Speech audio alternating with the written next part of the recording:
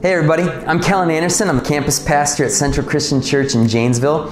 Hope you're doing well today. I have got some exciting news that I want to share with you. Uh, for the last few months, we've been doing outdoor services at Pontiac Convention Center. And it's been nice to see many of you there during this time. Uh, but we feel we're at that point where it's time to transition to indoor services at Pontiac for our Janesville campus. Our plan is to have our first indoor service at 9 a.m. on Sunday, August 16th. Uh, we're going to still have our online services at 10:30 on Sunday mornings, uh, but for now we're, we're only going to have this one in-person service at 9 o'clock on Sunday mornings. Uh, I think it's important that we understand that we are living in a new reality right now. Uh, church outside has been very different than church as we experienced it once before. Uh, church online has been different.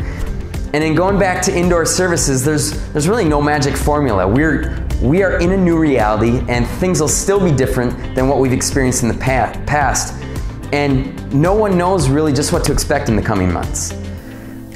But with that being said, we really do believe in the importance of meeting together for worship as a family of believers. We also believe in being as wise as we can be as we come together.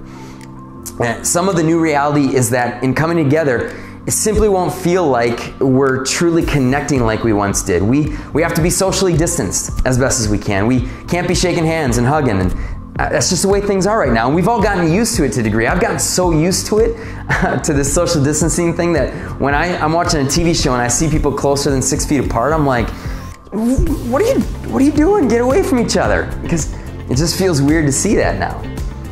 Obviously, a part of that weirdness is mask wearing. And right now, with the state mandate, there's no way around it. We're going to be wearing masks at church.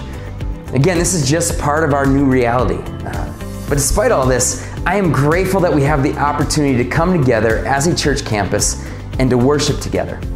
I totally understand that it's a personal choice that each person and each family right now has to make on whether you're ready or not to come and meet in person. And like so many things right now, it feels like there's no right or wrong answer.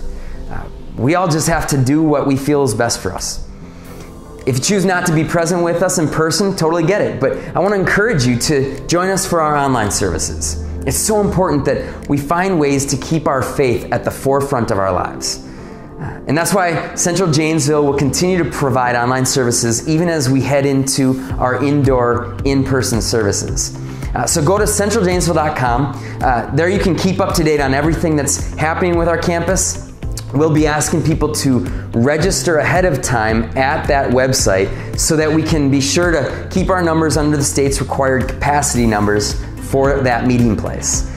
The registration link each week will be found right on our homepage at centraljanesville.com. You can register anytime between Monday morning and Saturday evening for the week that you plan on attending our in person service.